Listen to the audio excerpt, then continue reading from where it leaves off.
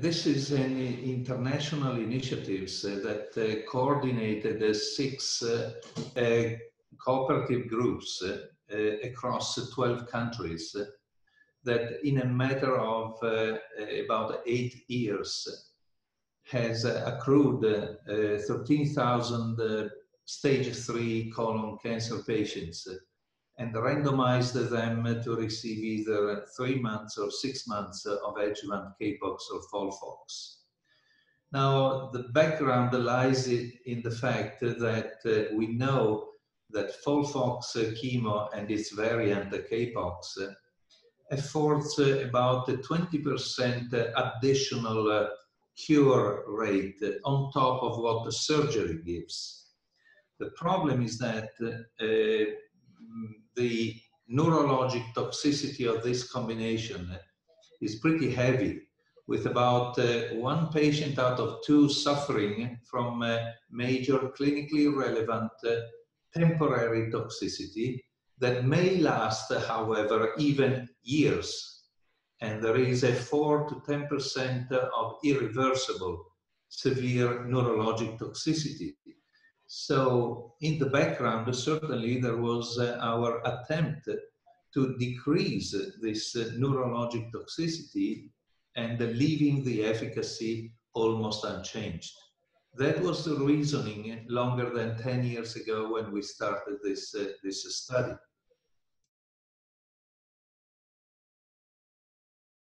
We generated a, a hypothesis. Uh, we predetermined uh, the non-inferiority margin, and we have chosen uh, three-year disease-free survival as uh, the primary endpoint of the study, knowing perfectly well that uh, we would have looked uh, with much interest also to the secondary endpoint. most important of them is the five-year overall survival.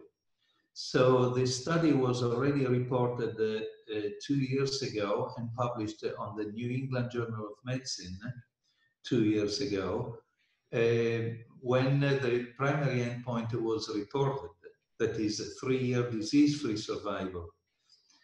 But that study generated a lot of uh, controversies, debates, because of the discrepancy between uh, the three-year disease-free survival curves that ran one on top of the other. But the statistical analysis uh, saying that non-inferiority could not be shown. So we were puzzled about that. Now it is so important, uh, the latest report at ASCO showing the secondary endpoint that is so important, the overall survival.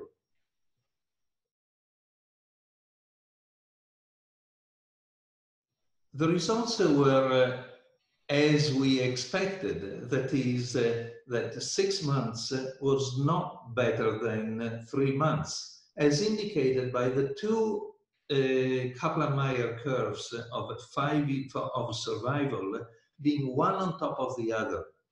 They were so identical that you cannot even stick the light of a laser pointer in between the lines. So that uh, led us uh, to our immediate interpretation saying debate is over. Okay, there is no more issues. Three months uh, uh to everybody. Now things are a bit more complicated than that because we predetermined also the non-inferiority margin for the five-year overall survival.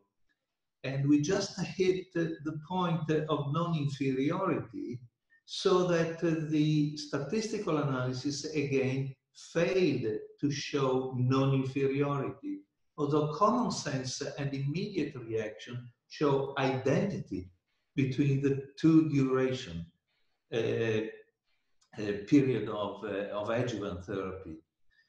So again, even the uh, discussant at ASCO agreed with our interpretation, the interpretation of the authors, saying, okay, uh, we are obviously playing the game of uh, uh, clinical research, and that has to stick to rules.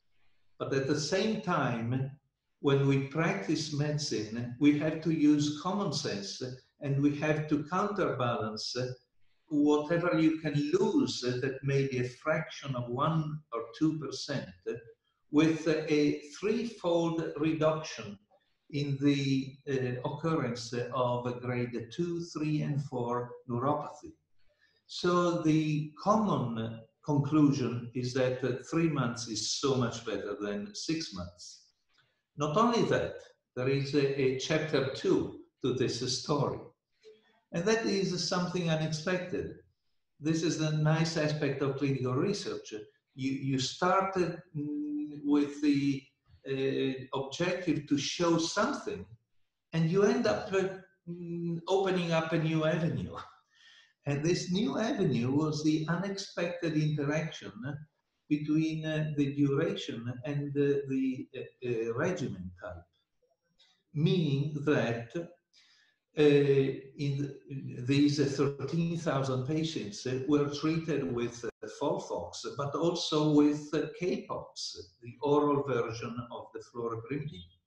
And what was found both in the disease-free survival and overall survival, primary endpoint and secondary endpoint, is that if you use Capox, three months are okay as good as six months. But if you use Folfox, that is okay only if the risk within stage three is low.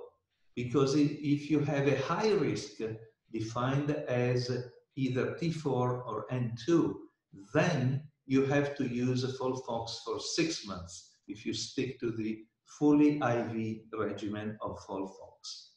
So that was the other conclusion of the study.